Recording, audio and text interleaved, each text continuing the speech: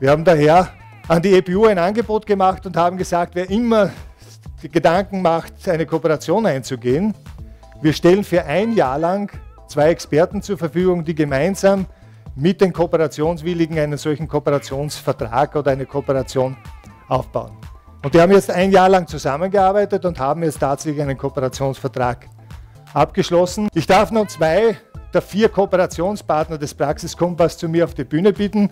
Ich selbst bin Versicherungs- und Vermögensberater und in der Kooperation Praxiskompass, die wir heute vorstellen und über die wir heute diskutieren, äh, habe ich den Bereich Finanz- und Risikomanagement. Ich bin eine Werbeagentur mit PR-Beratung, Eventmanagement und Kulturmanagement im Praxiskompass zeichne ich verantwortlich für den Bereich Branding, Positionierung, Zielgruppen, Definition, USP, alles was um das Thema Marketing sich dreht. Ich habe Ihnen gesagt, wir haben zwei Experten zur Verfügung gestellt und ich möchte jetzt die beiden Experten zu mir auf die Bühne bitten. Wir zwei sind Kooperationsberater, bieten das auch in einer Kooperation an und unterstützen Unternehmen bei der nachhaltigen Kooperationsbildung. Ich bin der zweite Teil dieser Kooperation als Kooperationsberater und habe als Hauptthema äh, Zahlen, Daten und Fakten und äh, versuche das gemeinsam mit dem Martin Matjaus äh, durchzuführen.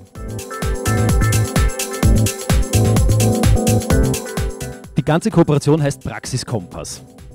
Wie Sie sehen können, Ihr persönlicher Begleiter passt in dem Fall bedingt, weil in Wirklichkeit geht es halt nicht um Sie, aber das ist der Slogan für Ärzte und Menschen in Gesundheitsberufen. Wir sehen uns als Begleiter von Ärzten bzw. Freiberufler, weil Ärzte sind eigentlich Freiberufler. Die lernen sehr viel in ihrem Studium, aber wenig, was mit der Selbstständigkeit zu tun hat und was sie darauf vorbereitet. Welche Hausaufgaben muss ich erfüllen oder muss ich machen, bevor ich überhaupt in eine Kooperation gehe? Das eine ist, dass die Herrschaften einmal nicht nur kooperationswillig sein müssen, ja, sondern sie müssen auch kooperationsfähig sein.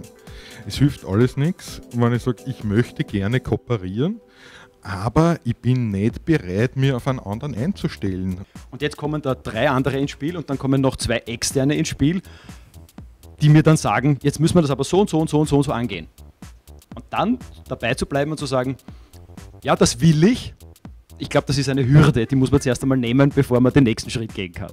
Habe ich die Zeitressourcen, habe ich die finanziellen Ressourcen, das wann ich in dieser Kooperation vereinbare, da legt jetzt einmal jeder 10.000 Euro am Tisch, bevor wir überhaupt weiter tun, dann muss ich diese Fähigkeit auch haben, diese 10.000 Euro hier einzubringen.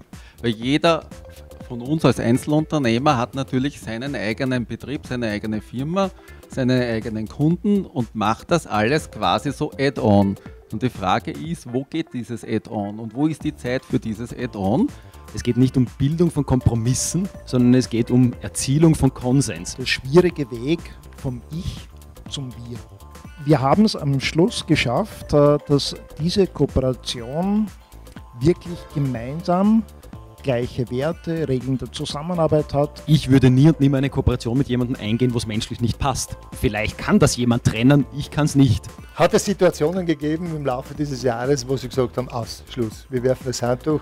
Ja, natürlich hat es die gegeben, gegeben und die auch natürlich nicht nur einmal, sondern sogar mehrmals. Es muss auf der einen Seite ja auch Spaß machen, was man gemeinsam macht. Es ist eine, eine Auf- und Abfahrt gewesen. Aber prinzipiell haben wir definiert, der, über den der Kunde kommt, der hält auch den Kontakt. Jeder haftet für sein Gewerk und das können wir auch dem Kunden ziemlich gut auch so darstellen. Wie schaut eine Rechnungslegung an den Kunden aus und wie teilen Sie sich den Gewinn auf? Wir machen eine Mappe mit Einzelrechnungen. Also jeder von unseren, von unseren Einzelunternehmen stellt eine Rechnung an den Praxiskompass und der Praxiskompass sammelt Rechnungen und gibt dem Kunden die gesamte Mappe. Drei gute Tipps an EBU, die sagen, sie möchten eine Kooperation eingehen. Äh, horchen Sie auf Ihren Bauch.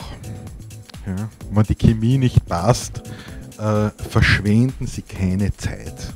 Äh, Kooperationsbildung ist keine Strategie zur Krisenbewältigung. Ich muss wirklich hier mit der Kooperation arbeiten, immer und laufend. Zeit lassen, nichts überstürzen, Dinge müssen reifen. Es muss Spaß machen. Wenn es keinen Spaß macht, aufhören. Wann immer Sie an eine Kooperation denken, nehmen Sie sich wirklich einen Experten, der Sie zumindest am Anfang begleitet. Dankeschön, dass Sie sich bereit erklärt haben, noch einmal darüber zu berichten. Danke an die Experten. Dankeschön. Einfach die Freude, die Sie vermittelt haben an der ganzen Geschichte. Und das ist glaube ich, auch sowieso der Hauptpunkt, dass nicht nur die Chemie wirklich stimmt, sondern darüber hinaus, dass man Spaß an der Sache hat. Und das haben sie dann wirklich vermitteln können. Der Sinn einer Kooperation liegt vor allem darin, dass Kleinstunternehmen, indem sie miteinander kooperieren, äh, die Vorteile größerer Unternehmen für sich auch lukrieren können. Und das ist, was Sie gesagt haben, das war das Motto. Einfach von Baugefühl machen und das äh, ein gutes Gefühl und Spaß. Wir sind extrem begeistert von dem Forum EPU. Extrem. Wir kommen so oft wie möglich und es gibt äh, so viele Chancen, sich zum Verbessern und äh, zum Steigern in unserem eigenen Unternehmen.